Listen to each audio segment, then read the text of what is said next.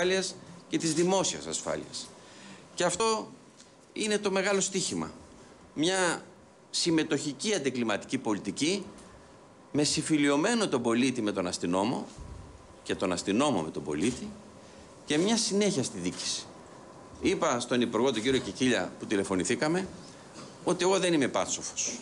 Εγώ θέλω να τον ακούσω, όχι σήμερα, να τον ακούω. Και αυτόν και τον κύριο Δένδια και τους προηγούμενους υπουργούς.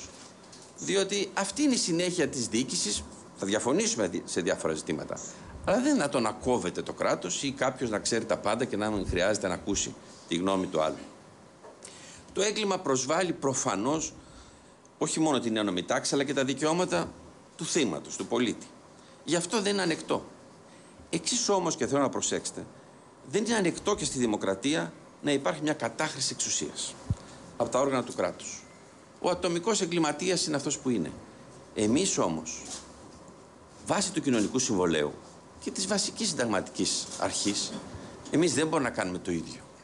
Δεν μπορούμε δηλαδή να στερήσουμε ακόμα και από τον εγκληματία τα δικαιώματα, πόσο μάλλον από έναν απλό πολίτη. Και χρειάζεται και συμβολισμούς. Με τον Υπουργό, θέλετε να πω, πετύχαμε κάτι. Σήμερα φύγαν τα κάγκελα από τον Άγνωστο στρατιώτη. Θα μου πείτε σιγά. Κι όμως έχει ένα συμβολισμό. Γιατί κάγκελα μπροστά στη Βουλή; Τι φοβόμαστε, ότι ο λαός θα μπει μέσα στη Βουλή, ότι τα τάξη θα μπουν μέσα στη Βουλή; Πρέπει λοιπόν να συμφιλειωθούμε. Αν έχουμε ιστορικά κατάλοιπα, έρθεν κακήθεν, θα τα λύσουμε. Αλλά αυτό είναι το βασικό στοίχημα. Προφανώς θα ασχοληθούμε με τα μισθολογικά, τα οικονομικά, σε συνδυασμό με τους ε, συναρμόδιους υπουργούς, αλλά να ισχυροποιήσουμε τους δεσμούς της αστυνομίας με τη δημοκρατία και τον κοινοβουλευτισμό. Να πείσουμε τον κάθε αστυνομικό ότι είναι ο καθημερινός φίλος του απλού πολίτη. Αυτόν υπηρετεί και αυτόν προστατεύει. Το ίδιο κάνουμε και εμείς.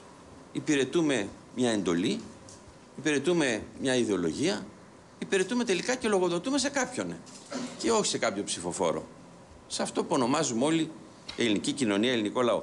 Και αυτή είμαστε η αποστολή. Δεν έχει χρώμα.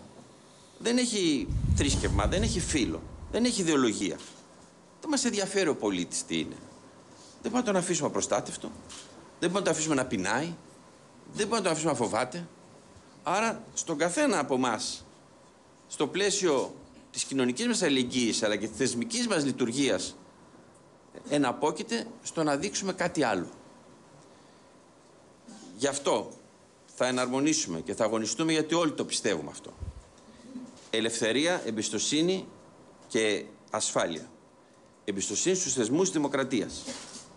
Είπε ο Νίκος Οβούτσης. Θα τα καταφέρουμε; Κοιτάξτε, θα φανεί. Αλλά δεν αξίζει τον κόπο να προσπαθήσουμε. Για μας, για τα παιδιά μας και για όλους. Ευχαριστώ και καλή δουλειά. Λοιπόν, αυτές ήταν δηλώσεις του κυρίου Πανούση. Ε, νομίζω θα συζητηθούν και οι δηλώσεις του γενικά.